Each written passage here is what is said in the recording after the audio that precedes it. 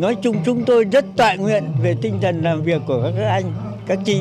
Ờ, gia đình chúng tôi cho đến phút này rất là hoan hỷ là hoan nghênh tinh thần.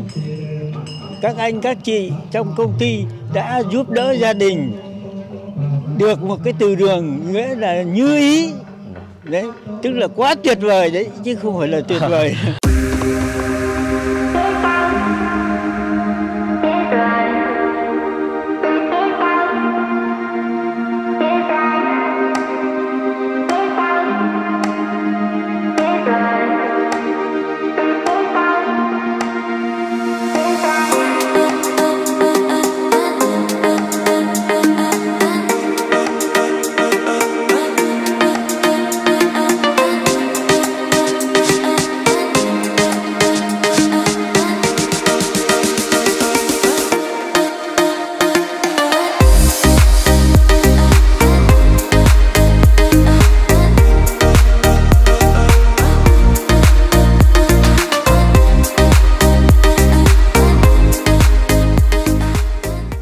Xin chào tất cả mọi người. Hiện tại tôi đang có mặt tại xã Đông Huy, Đông Hưng, Thái Bình để ừ, tham dự cái buổi lễ khánh thành do công ty chúng tôi thiết kế và thi công cho bác Phú Đình Thuấn.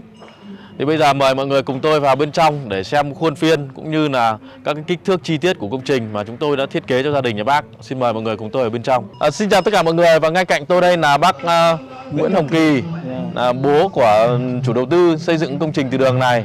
Thì, con xin chào bác ạ. vâng chào anh Vâng, thì à, con à, xin phép có một à, chỗ là cũng muốn hỏi bác thì là trong cái thời gian mà anh em con thi công công trình này ấy, thì hiện tại là công trình cũng đã xong và hôm nay là có buổi khánh thành thì trong cái quá trình mà anh em thi công từ lúc bắt đầu đến lúc kết thúc thì à, bác thấy anh em thợ làm việc à, có chăm chỉ chịu khó không ạ? vâng. Đấy.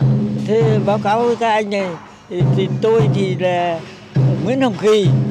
Thì xin trả lời là công ty của các anh về đây làm việc là gia đình rất hoan nghênh là tinh thần làm việc và rất là tích cực là đi sớm về muộn. Và trong quá trình thi công là gia đình chúng tôi rất là khâm phục tinh thần lao động của các anh các chị ở đây. Trong quá trình thi công thì có ký từng phần một phần móng rồi phần thân rồi phần mái. Thì nói chung chúng tôi rất tạ nguyện về tinh thần làm việc của các anh các chị. Dạ. Ờ, gia đình chúng tôi cho đến phút này rất là hoan hỷ là hoan nghênh tinh thần các anh các chị trong công ty đã giúp đỡ gia đình được một cái từ đường nghĩa là như ý. Đấy tức là quá tuyệt vời đấy chứ không phải là tuyệt vời. À, dạ vâng, thế à, công trình mà đã hoàn thành bây giờ hôm nay là khánh thành thì à, ông có thấy nhiều người đến để tham quan công trình nhà mình không ạ? nói chung là dòng tộc nhà tôi là nguyên tộc.